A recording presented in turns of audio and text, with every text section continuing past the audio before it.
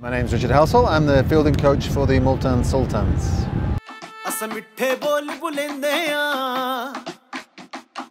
Try and make them specific to their role in the game.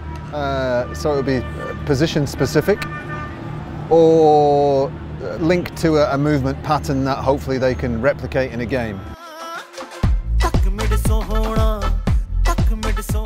Movement combined with uh, anticipation, really, and that attitude to uh, what they're going to commit to the team via the fielding.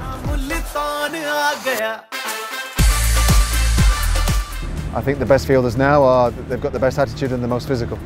Um, in terms of, they're, they're, desperate to get in the game. Um, they want every single ball to come to them. Uh, they hunt and they, they genuinely, they love fielding.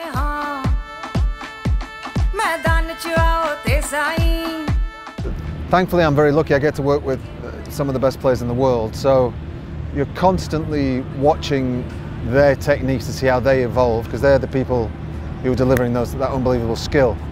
And then you're trying to break that skill down so that you can deliver it to other people.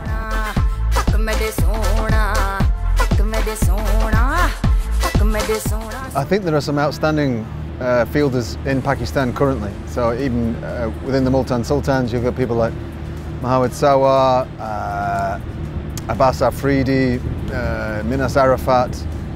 They move really well. Um, so it's that movement and volume combined so that you get used to the shape of batsmen.